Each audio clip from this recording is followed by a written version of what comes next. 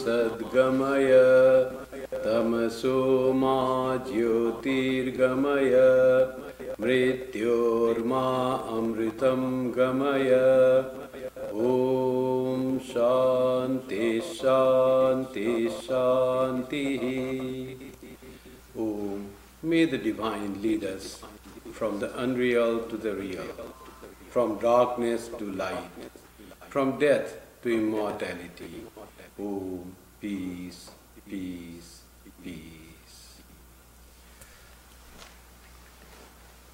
Today,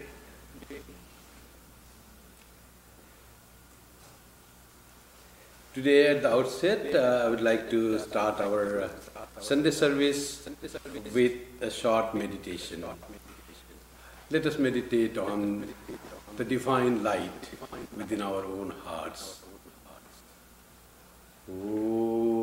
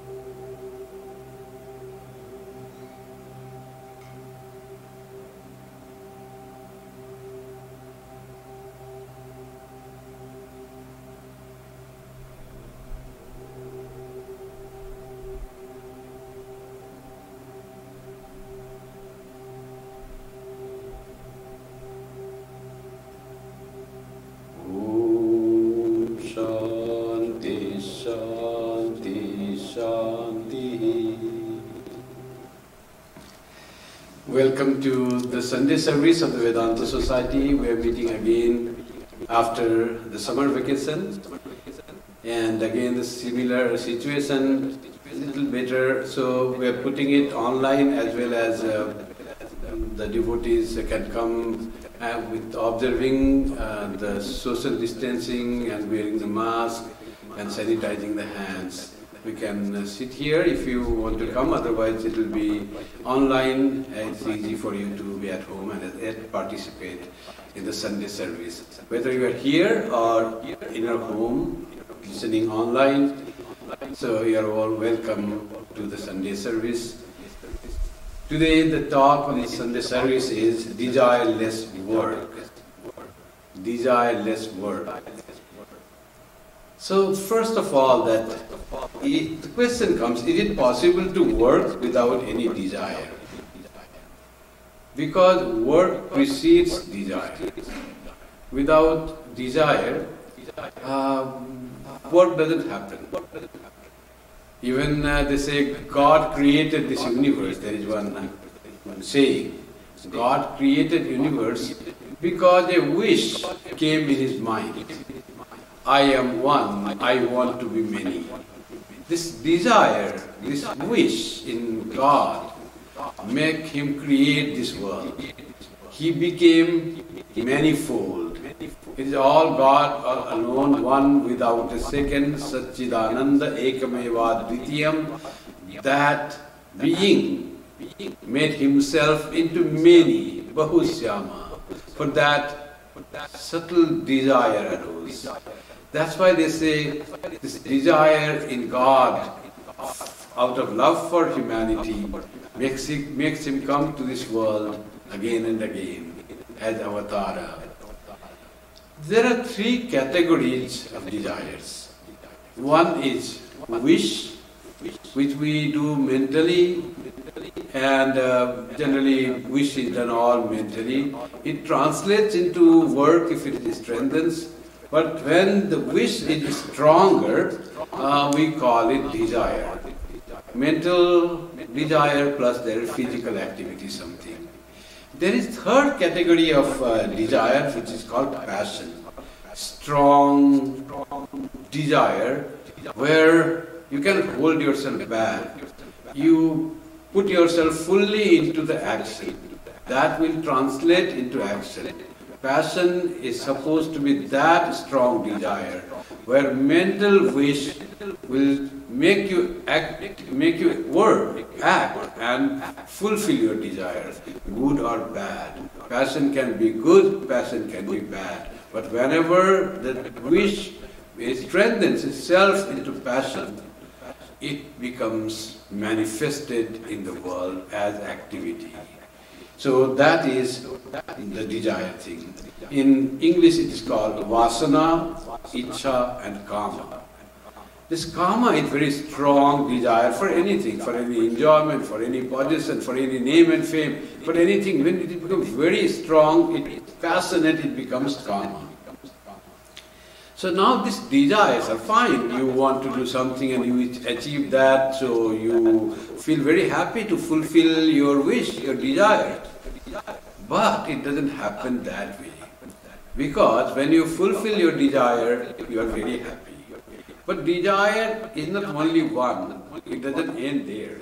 As soon as one desire is fulfilled, immediately second desire comes. So there is no end to the desires. The desires ultimately, what they do, they take us like a bullock cart, like a bullock being trained and goaded for work to, to make the oil from the oil seeds. Uh, so it goes on working desire will make you, like you see the carrot, sometimes you see the carrot is dangled before a bull.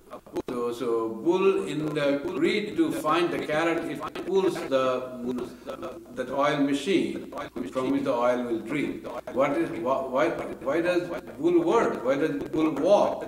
To eat something. That's the desire given. Then we apply the desire it works into action, we apply it by giving a carrot, tending carrot to a bull. So like that, for us also, this desire is always like a dangling carrot. It is always goes us to work and work. And finally, it is so many desires are there and work are never finished, desires are never met, one desire is satisfied, another desire comes, finally it becomes a source of bondage, a source of suffering. Desires are definitely a source of suffering.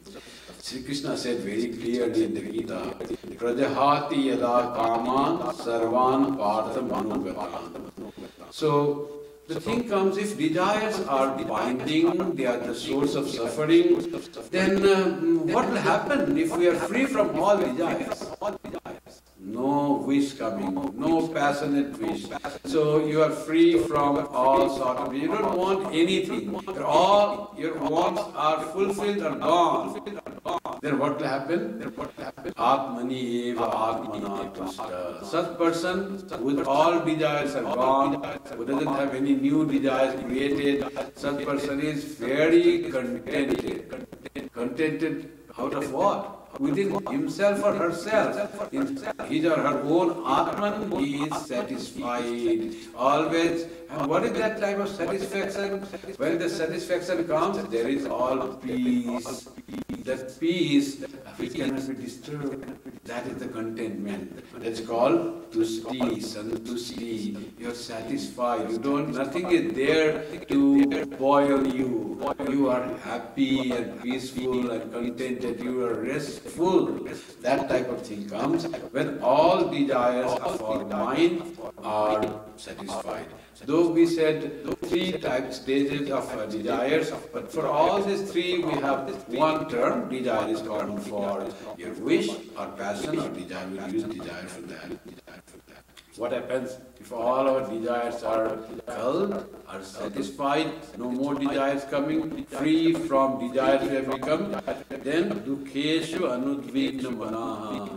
We are not agitated, disturbed by any sorrow, any difficulty, any sadness We cannot make us sad, anything that should have made, it, made us very sad, that will not be able to make us sad. We become so strong, we become immune to all worries and anxieties and suffering and sadness. That is the power of fulfillment of desire or freedom from desire. That's why desireless comes. We have to be desireless. And Sukheshu vigata striya. You don't seek happiness in the things of the world. All happiness you have found within yourself by the cessation of all desires that was in your mind. No more new desires coming in your mind, then you don't crave for any external pleasure, external happiness, all you find within yourself. That is what the tusti, that is what the contentment is. You, do, you know nothing is there to gain. It's already you have got whatever to be gained. You are happy with yourself. All joy and happiness within yourself you find. And what happens?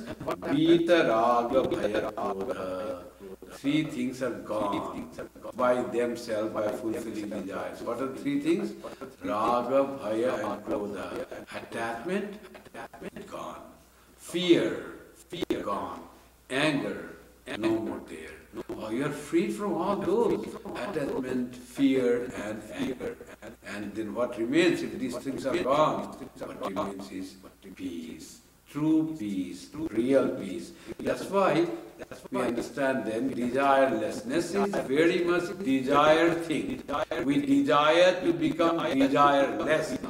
We become, we desire to be free from desire. That is one passion that we should have. Passion how to become free from all desires and enjoy the peace and joy that God has given us as a human being without Though it is given to us, but unaware of it, we we run here and there, craving for pleasures from this world, which is not there. We are searching a black cat in a dark room, which is not there. There is no black cat in the dark room, but we are searching there. Oh, we think, oh, we found it. We found it. We will find. We will find satisfaction and happiness and pleasure in the things of the world. Little bit it seems, oh, perhaps we found it. We find, no, there is no joy in the world. Our joy is within ourselves so that is our condition. The God has given us uh, thus thing, but we don't know why we are searching that black cat in a dark room, and that cat is not there. And that whole life goes in this search for this black cat. The black cat is the happiness, the pure peace and joy that we think we get from the world.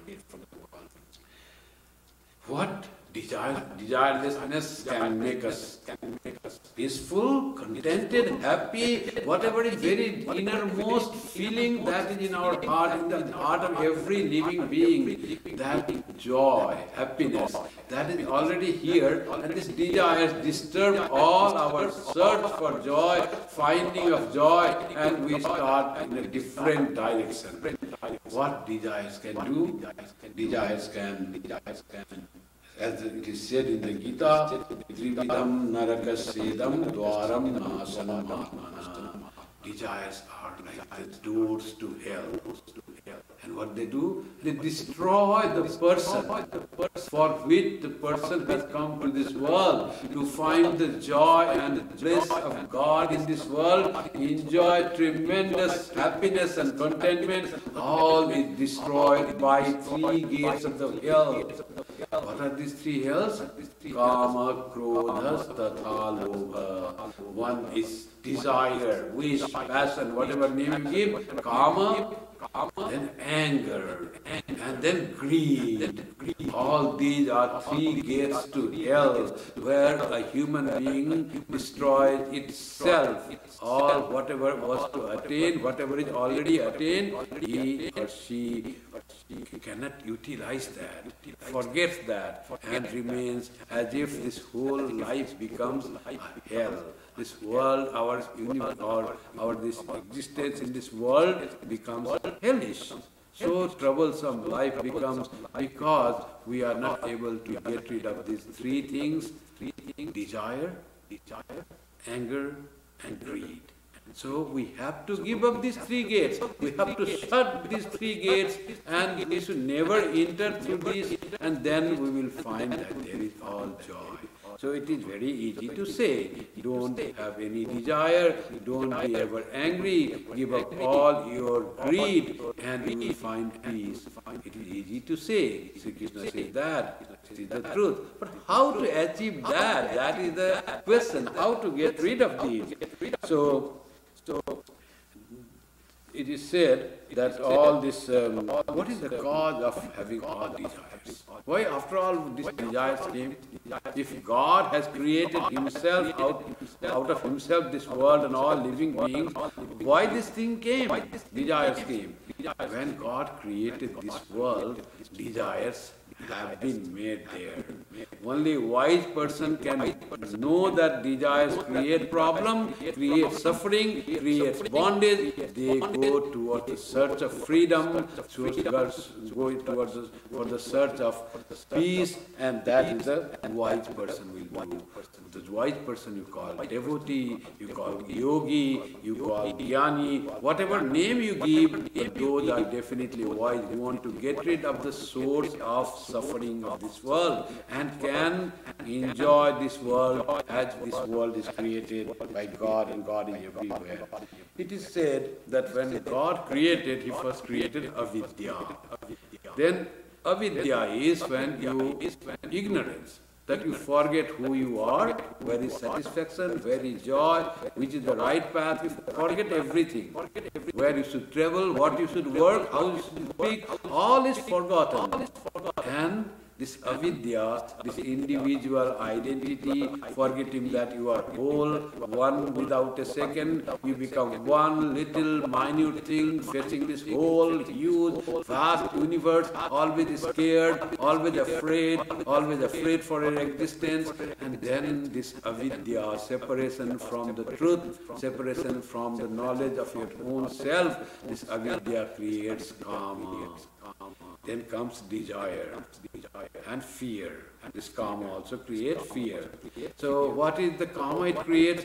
How to sustain myself, how to protect myself, how to nourish myself, like those desires come. You are fearful. Fear, you are fearful because you feel yourself vulnerable in this vast universe, totally forgetting that you are the universe. Whole universe is created out of God. You and universe are inseparable. You are one without a second. This avidya has created that separation.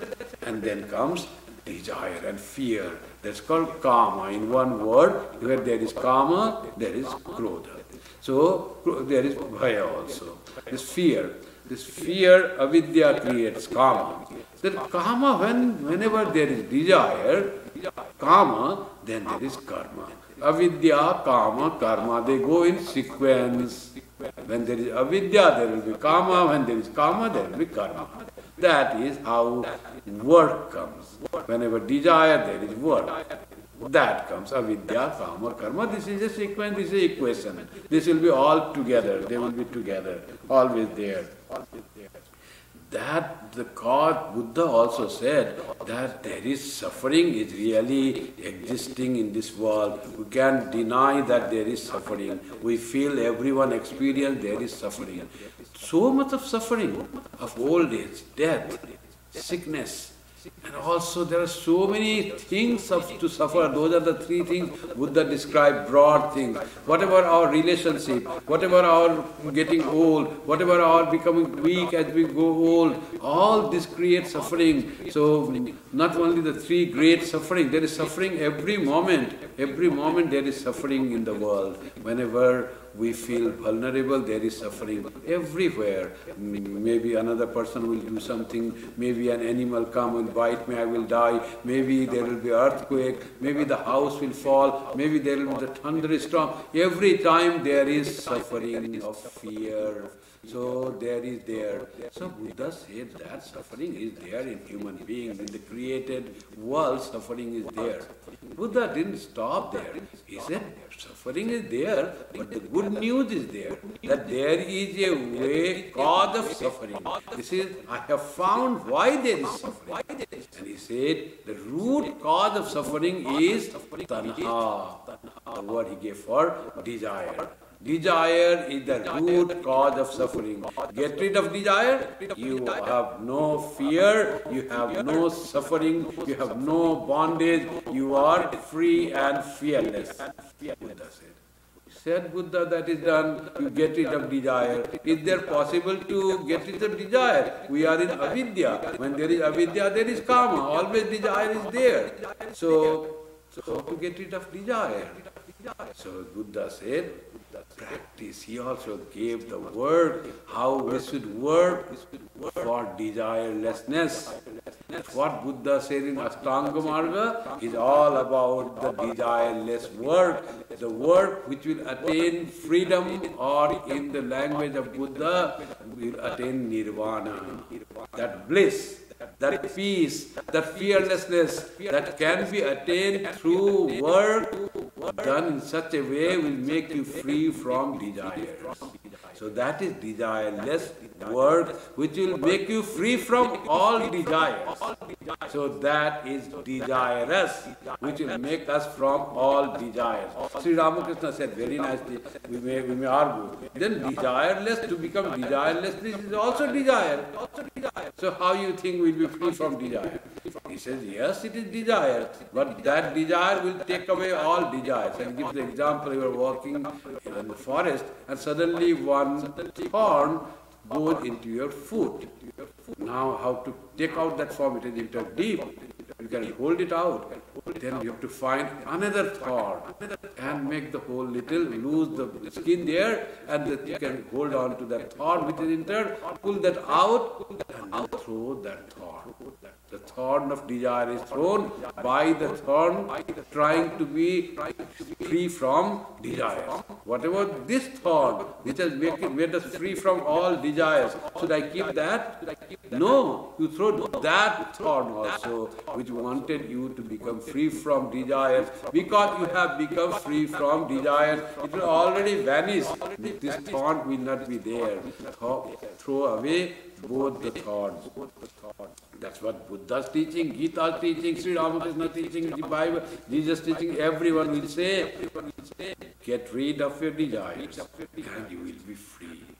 Now the problem again is, it is we understand, we understand that desires are binding, but are all desires bad? Should we, should we have no desire at all?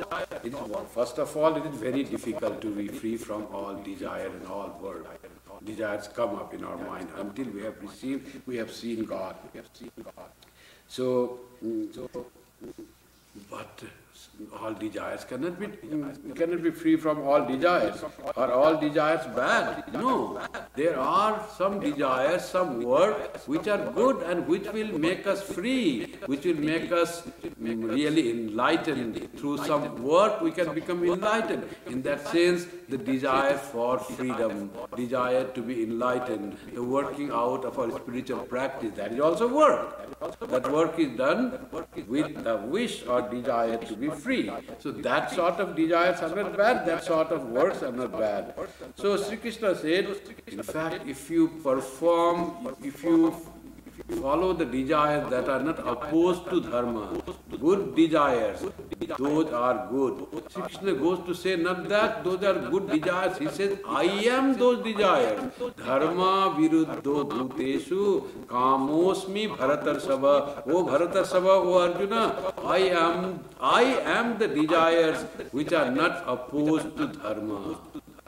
So, Dharma means that takes us, there are many meaning of dharma. Dharma is one meaning is that the process that takes us towards enlightenment, towards truth, towards reality. There are other meaning like performance of duty, that is also dharma. If you perform your duty sincerely, that is also God. if a teacher sincerely teaches to the student, that work itself is God, that work itself is divine, that work itself is spiritual practice. You come closer to your work through the duty you perform sincerely and without any personal or selfish motive.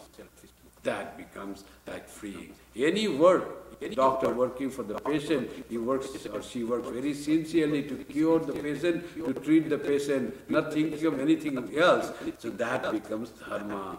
That becomes that desire, that desire to treat the patient for the sake of the patient becomes dharma, becomes God, because it is dharma aviruddha, it is not against the dharma. This type of desire is God Himself, Kamosmi, I am that desire. Sri Krishna says, I am desire. So all desires cannot be bad, desires are there. So dharma is that thing that makes us perform our duties sincerely.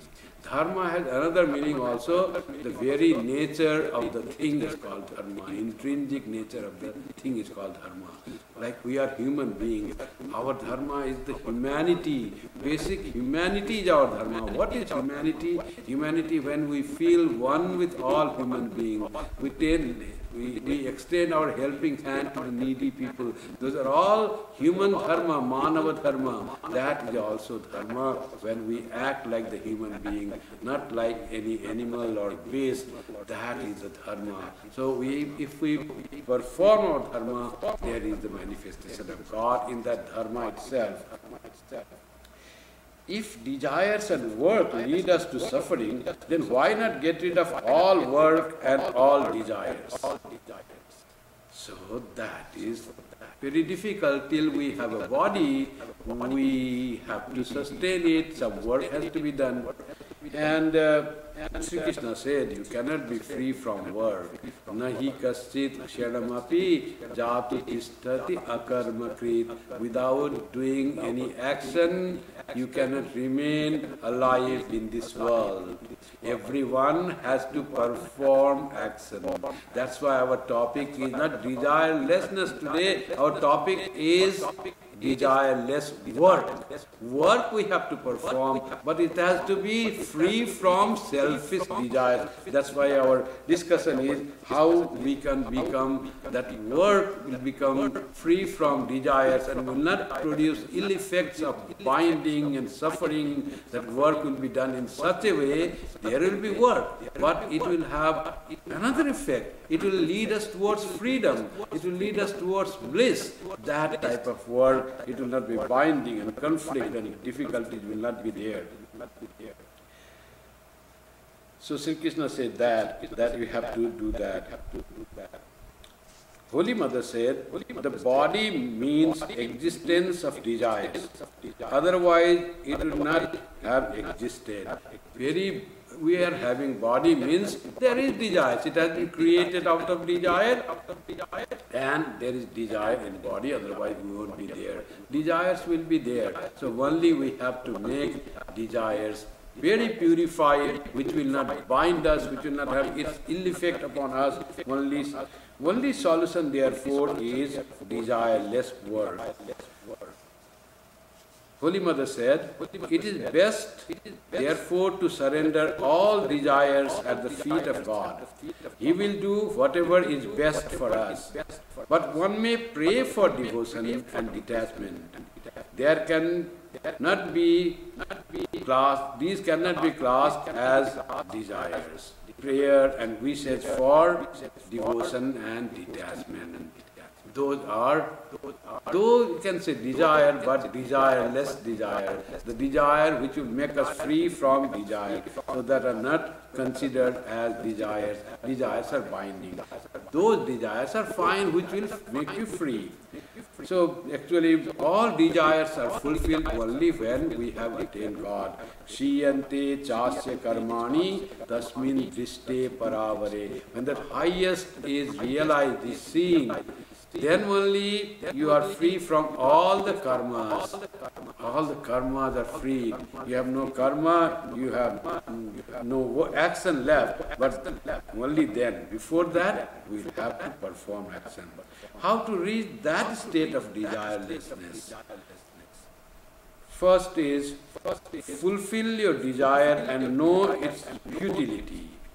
It's not possible to be really say, I will not have any desire. That will not be there. It's there ingrained in our conscious mind. If you want from your conscious mind to obliterate and erase all desires, in subconscious mind there is desire. It will come to the surface, it will do that. So it is said, first fulfill your desires. Small desires. Big desires, eradicate by discernment, by thinking, by your buddhi. But small desires you can fulfill. There is no problem. Fulfill your desires and know its futility. All desires, know that it's, it is not binding. You should not be slave to your desires. Small desires are fine. You want to have a cup of coffee in the morning, there is no harm in that. You can have that, but you should not be slave to a cup of coffee in the morning. Sometime it may come, you will not get coffee. But you, are, you should be as happy without coffee as you are happy having a morning cup of coffee. That is the practice, mental practice. We are not slave to our habits.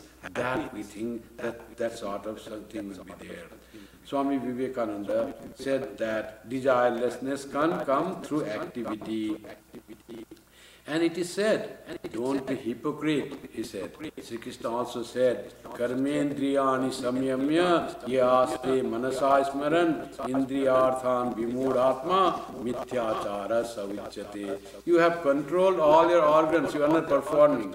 But in your mind, you are enjoying the things.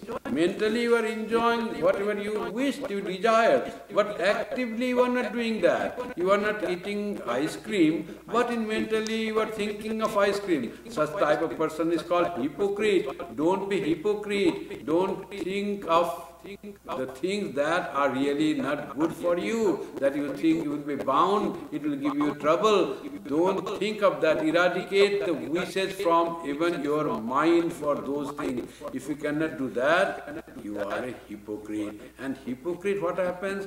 Seemingly he will not do. One day he will fall prey to his desires. Desires are so, so strong that um, Sri Krishna says in the Gita that uh, desires are very strong. It's like a Shatru enemy.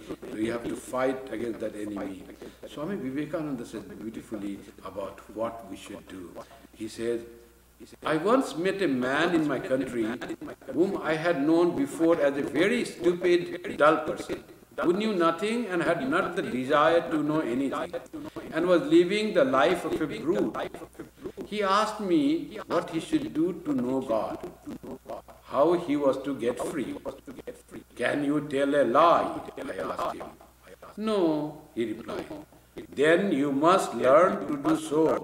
It is better to tell a lie than to be a brute or a log of wood. You are inactive. You have not certainly reached the highest state, which is beyond all actions, calm and serene. You are too dull even to do something wicked. That was extreme case, of course, and I was joking with him. But what I meant was that a man must be active in order to pass through activity to perfect calmness. Activity, then inactivity, then calmness. So one has to pass through these things. Just the inertia, tamasic, tamoguna, laziness, and you want to jump to sattoguna, that will not happen. You have to pass through rajaguna. Rajaguna means activity. Activity means little suffering. More through the suffering you become wise. You understand the real nature of the work. You understand the fulfill, what is the fulfillment of desires. You become wiser. Then the work falls. You are not caught trapped in the work bondage of the work, then you become calm and serene, activity falls, the spiritual inactivity reigns. Inactivity should be avoided by all means, says Swamiji, for the normal person. Activity always means resistance. Resist all evils, mental and physical. And when you have succeeded in resisting, then will calmness come. It is very easy to say, hate nobody, resist not evil. But we know what that kind of thing generally means in practice. When the eyes of society are turned towards us, we may make a show of non-resistance. But in our hearts, it is canker all the time. We feel the utter want of the calm of non-resistance. We feel that it would be better for us to resist if you desire wealth and know at the same time that the whole world regards him who aims at wealth as a very wicked man. You perhaps will not dare to plunge into the struggle for wealth. Yet, your mind will be running day and night after money. This is hypocrisy and will serve no purpose. Plunge into the world and then after a time when you have suffered and enjoyed all that is in it, will renunciation come. Then will calmness come. So fulfill your desire for power and everything else and after you have fulfilled the desire will come the time when you will know that they are all very little things. But until you have fulfilled this desire, until you have passed through that activity, it is impossible for you to come to the state of calmness, serenity, and self-surrender. These ideas of serenity and renunciation have been preached for thousands of years. Everybody has heard of them from childhood, and yet we see a very few in the world who have really reached that stage. I do not know if I have seen 20 persons in my life who are really calm and non-resisting. And I have traveled over half the world. This is practical situation of us, of all human beings in this world. It is we the tall talks and little practice, and that we are always bound. Swamiji says, don't be hypocrite. If we have desires, try to fulfill that and suffer and burn your fingers, then understand you should not approach your finger to the fire. Until you do, you might have approached a very shining, nice flame. Let me catch it. And if you can't understand, you are not wise enough, and don't don't learn from the experience of others, and you have to learn. They say there is a uh, like if there is a whole uh, ditch on the road, and some people who see the ditch are told that there is a ditch, they resist from going there. There are some people who will go, will not believe other people, and see the ditch really exists there, then they will not go. Some others are there, they will even go there until they themselves fall in the ditch. And then they realize that, yes, this was the wrong thing that I do. There are some very stupid people. They don't do mistakes only once. They fall in the ditch again and again. After falling, suffering, bruises, breaking of their bones, still they will go near the ditch and fall in the ditch. Most of us are repeated mistaking people. We commit mistake repeatedly.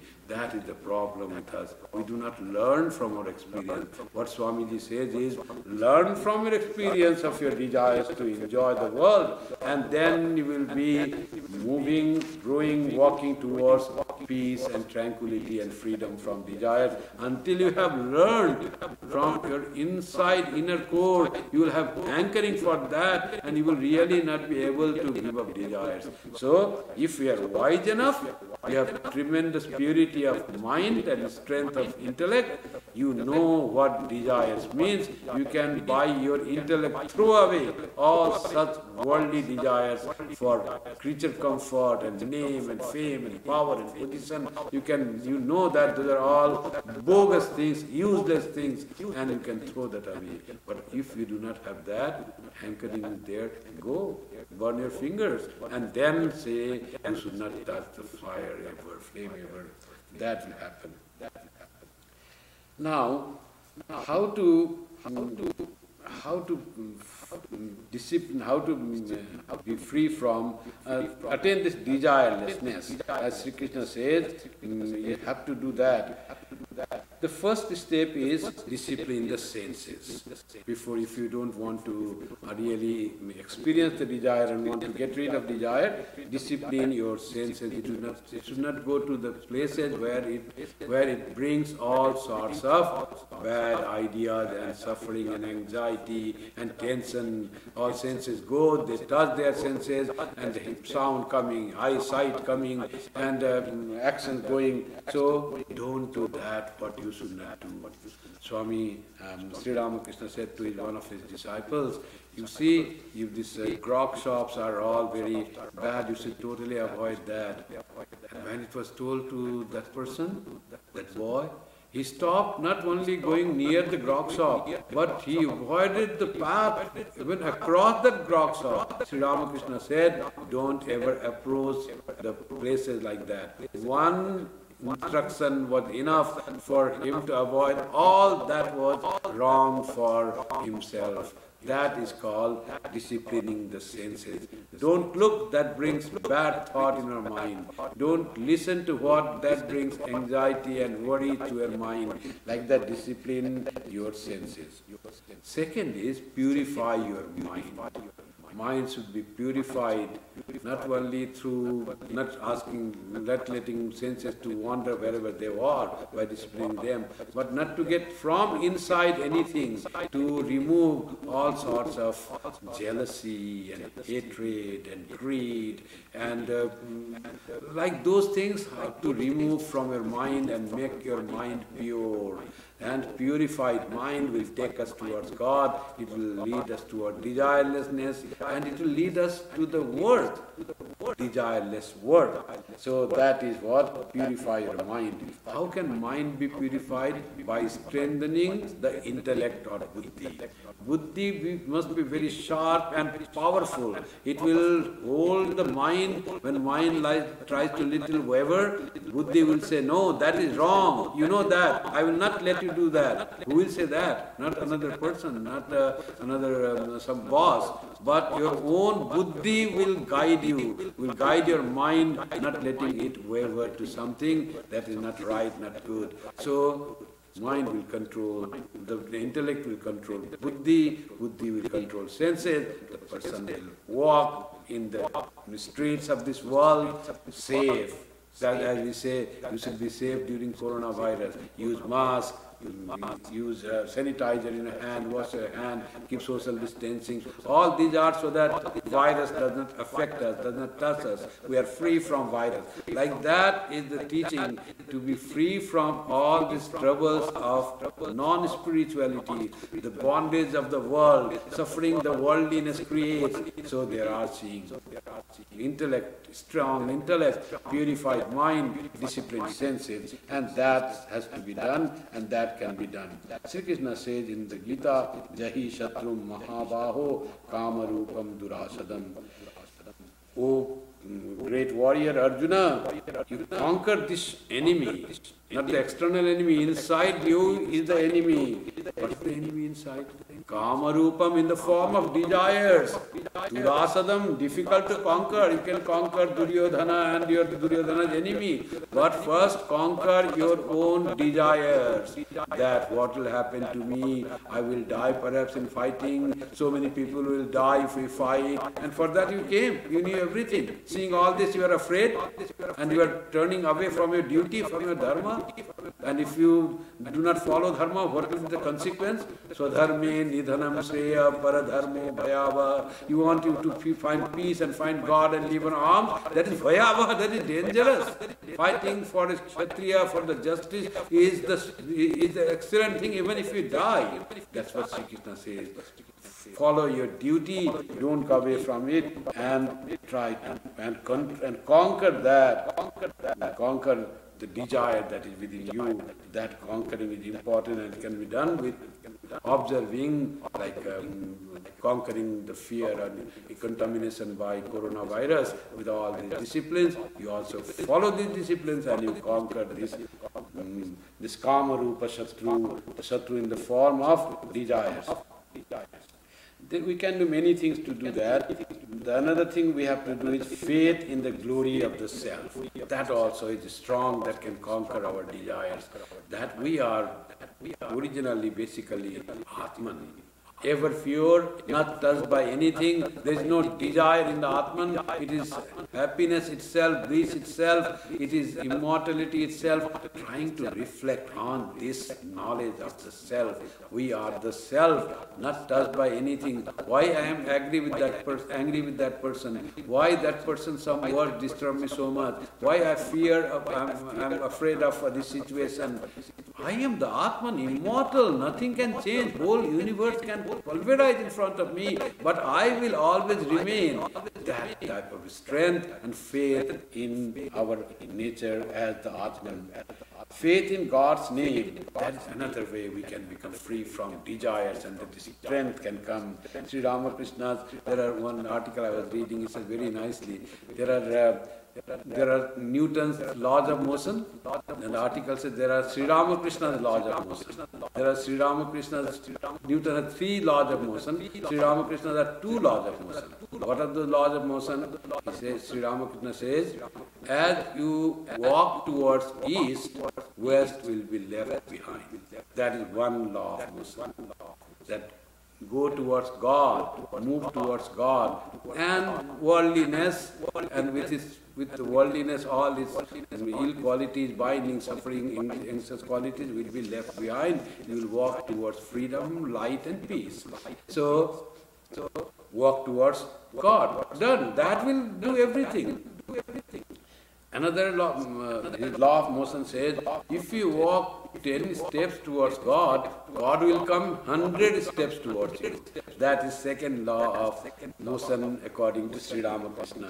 You do a little effort, power will come. You will find you are progressing faster than you thought. It was so difficult for you to really think of God or meditate on God. You started working and now you feel, find that yes, I can meditate on the form of God. I feel joy during meditation time if I feel, if I miss to do japam, I feel so bad. So you are already progressing. God is coming closer to you by His own power. You are doing little, small steps, giant strides God is taking to you. My devotee wants to come towards me. How can I remain here far away? You will be closer to the reality. That is second law of Sri Ramakrishna's motion, law of motion according to Sri Ramakrishna. We can uh, be desireless by repeating God's name. So God's name is another thing that we can available and that has so much power. It is just, just not the word. There is power of desirelessness, power of spirituality contained in the name of God. Jesus, Rama, Allah, Vaheguru, whatever you say, those are so powerful things. The name itself is so much power. God and God's name are inseparable. Namanami Aveda. One person, one young student that is to come to Sri Ramakrishna said, Oh, I'm finding difficult to get rid of lust. So Sri Ramakrishna said, repeat God's name, Harinam karo. And boy thought Sri Ramakrishna Parak doesn't know the answer to this uh, problem because he is always Paramahamsa. How will he know what lust troubles? Then uh, he thought, let me do, and he has said, let me do. So he started doing, repeating the name of God. And to his surprise, he was really getting rid of all this lust and all these evil thoughts. So it is the name of God is so powerful, it is so potent. You can rid of all the evil that is created by the world or your mind, the world means your mind, by repeating God's name. So Another very nice thing that we can be spiritual is offering things to God before eating or using yourself. That is one nice association with God that gradually takes us towards God. They say whenever some food comes, once uh, Sri Ramakrishna was given a betel leaf, and um, Sri Ramakrishna saw one of, in the group, one was not there, so there was empty space. Sri Ramakrishna said, I cannot take this betel leaf.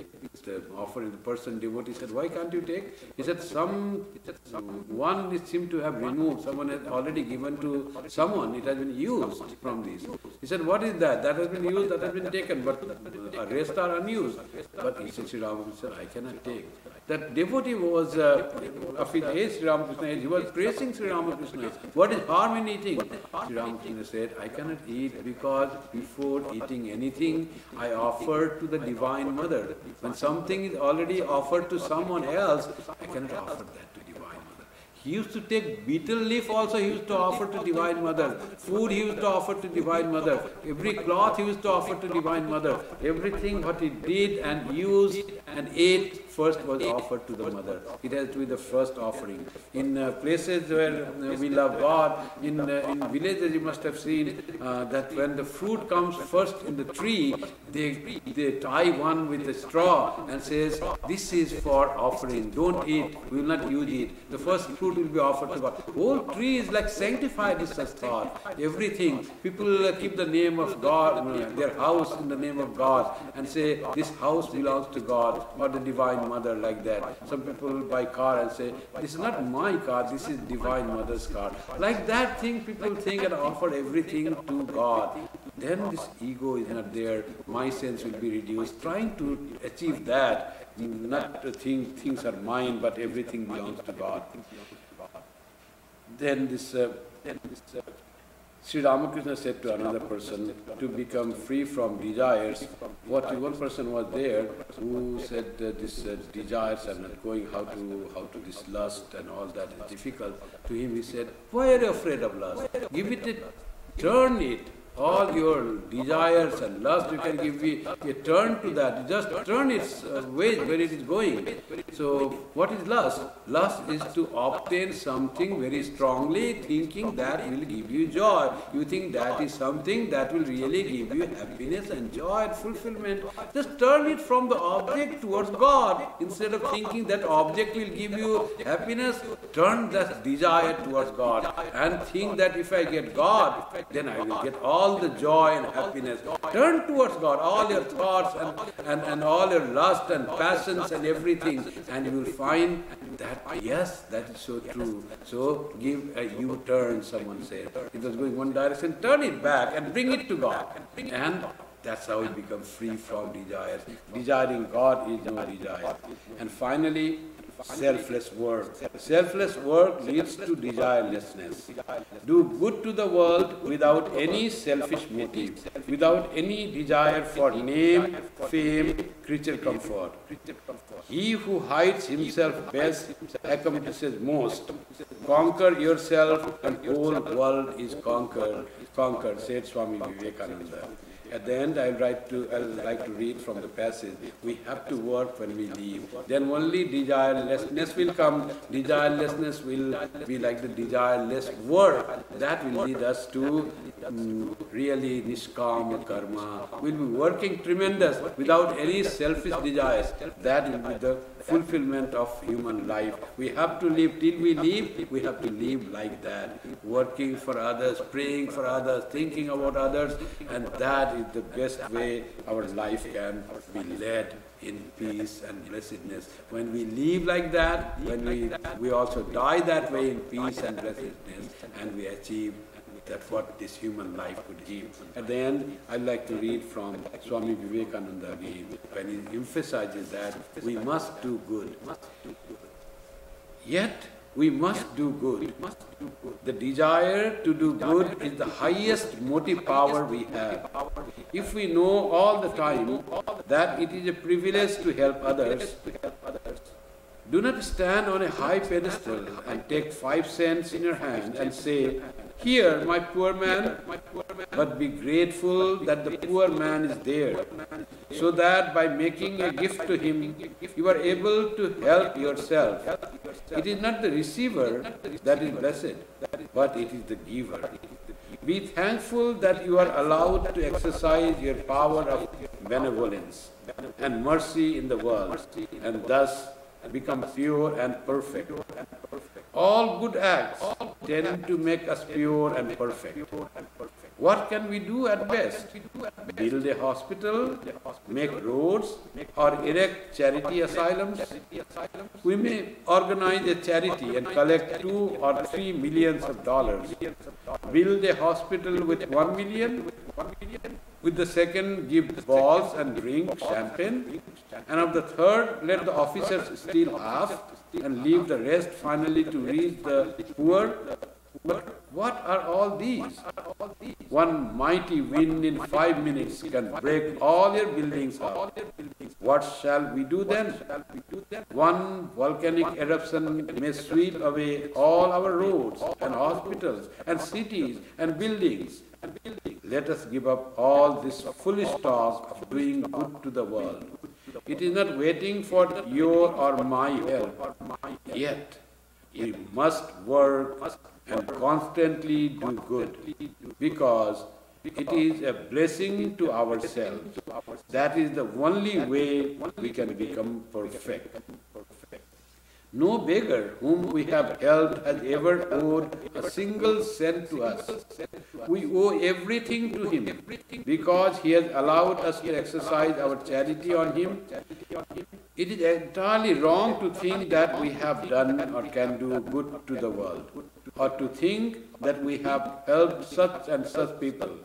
It is a foolish thought, and all foolish thoughts bring misery. We think that we have helped some man and expect him to thank us, and because he does not, unhappiness comes to us. Why should we expect anything in return for what we do? Be grateful to the man you help. Think of him as God. Is it not a great privilege to be allowed to worship God by helping our fellow men? If we were really unattached, we should escape all this pain of vain expectation and could cheerfully do good work in the world. Never will unhappiness or misery come through work done without attachment. The world will go on with its happiness and the misery through eternity. Beautiful words of wisdom, Swamiji says. In this context, I remember Sri Ramakrishna's advice to Shambhu Malik, one of uh, the, the, contemporaries of uh, Sri Ramakrishna, used to visit him, and he one day puts his wish to Sri Ramakrishna. I have he was a rich person. I want my all wealth to be utilized in building hospitals and schools. And uh, Sri Ramakrishna says, You are a devotee of God. Do you think those are the ultimate of life to do charity? He says, ultimate of life is to realize God. If God comes in front of you now, will you be out of yourself and fall at His feet and without having any wish, any desire, all desire fulfilled? Or you say to God, Lord, make hospitals, take this money and make hospitals and schools. This becomes very trifling thing, trifling desire in front of God realization.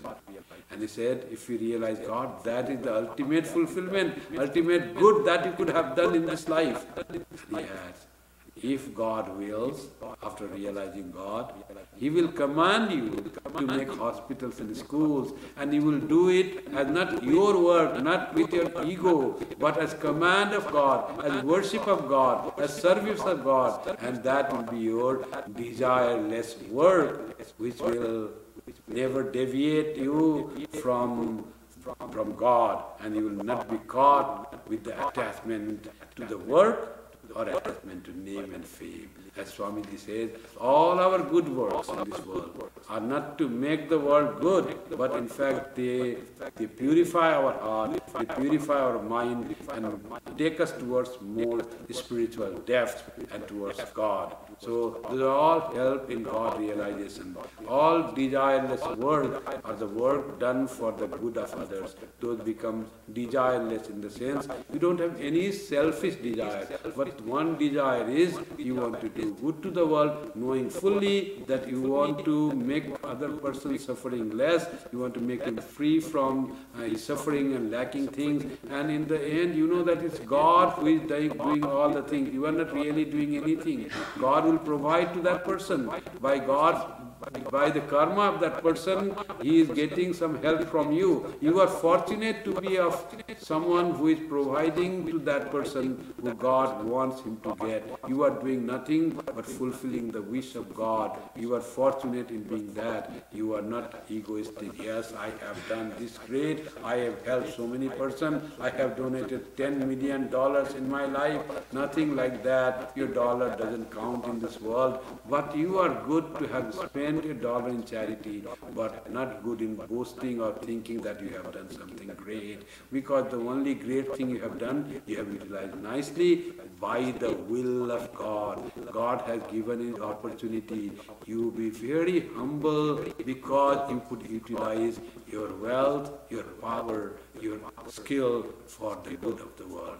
That is the desireless work which will make us free from bondage and suffering. And we will live with that sort of work, we live in peace and bliss in this world. No suffering can ever touch us if we can perform the desireless work. Thank you very much. We'll meet again next Sunday at same time, 11 o'clock. Now the closing chants. ॐ शान्ति शान्ति शान्तिः हरिः ॐ तत्सत् श्रीरामकृष्णार्पणमस्तु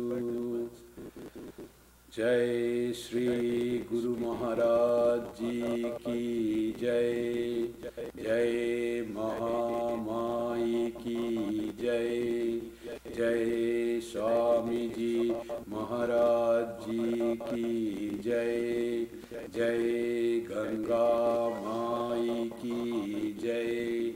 जय भगवान बुद्ध की जय।